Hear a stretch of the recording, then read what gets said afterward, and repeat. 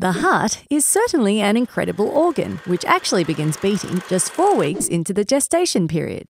This beating continues throughout our entire lives, with about 100,000 heartbeats occurring each day, as the driving force behind oxygen and nutrient transportation around the body. In just one day, your heart pumps around 9,000 litres of blood. That's a lot of work. So let's have a look at the cellular architecture of the heart that makes all this possible. It's time to study the histology of the heart.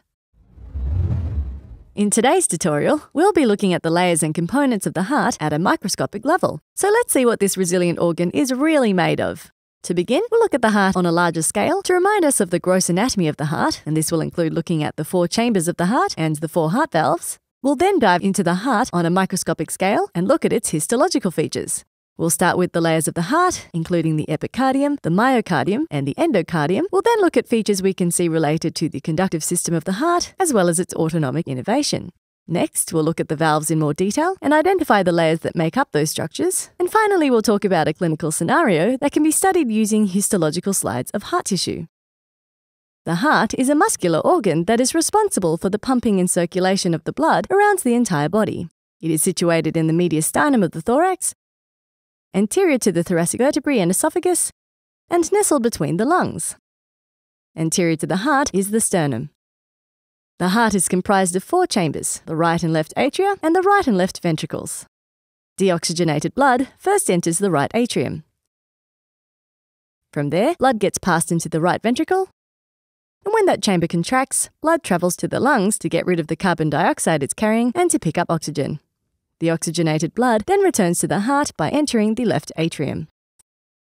Finally, it moves into the left ventricle, which is the chamber powerful enough to push the oxygen rich blood into the systemic circulation and it travels throughout the body. There are also four valves associated with the heart, all of which we can see in this image here.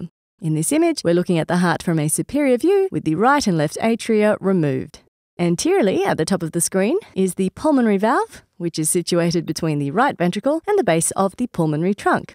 Posterior to it is the aortic valve, which is found between the left ventricle and the ascending aorta.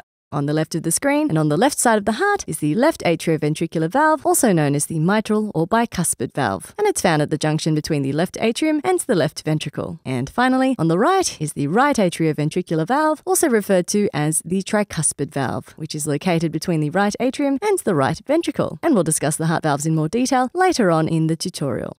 So we're now going to start transitioning to the histology of the heart, and the images that we'll look at throughout this tutorial will look similar to this one as we identify the various components of the heart as seen on a microscopic scale. And this slide shows us the wall of the left ventricle, as well as the mitral valve, and we'll identify these parts shortly. This video is not over yet. Continue watching now the full video at kenhub.com. We have lots more videos like this one available to our premium members on our website, not to mention all the fun quizzes, related articles, and atlas sections. So click on the button in the middle to watch the full-length video and master anatomy.